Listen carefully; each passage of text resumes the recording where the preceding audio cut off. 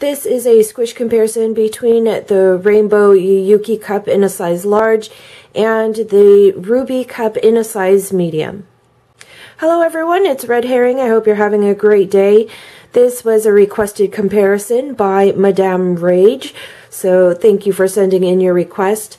Um, the medium Ruby cup is the larger of the two sizes that they have to offer, and you can see here that it is um, quite a size difference between these two cups.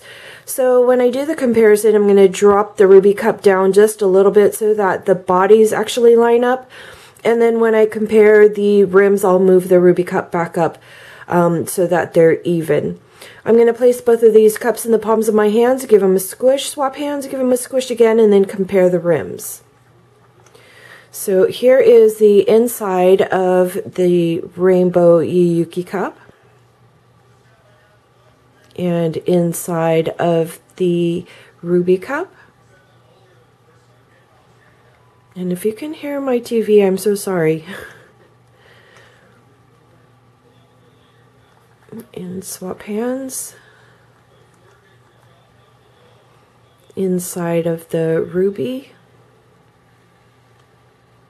And inside of the Yuuki. And just the rims.